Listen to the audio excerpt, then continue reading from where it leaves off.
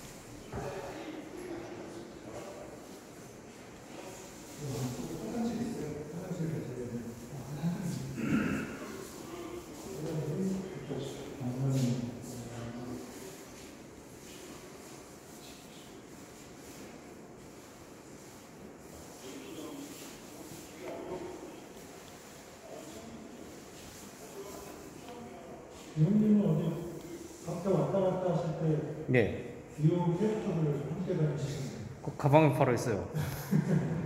항상 갖고 다녀요. 수강생들하고 같이 이제 인형놀이 하니까. 어. 그럼 수업을 어디서 하시는 거예요?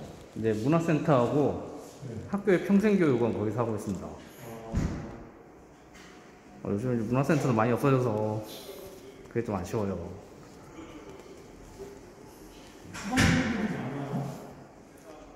요즘에는 거의 한 30명 정도? 예.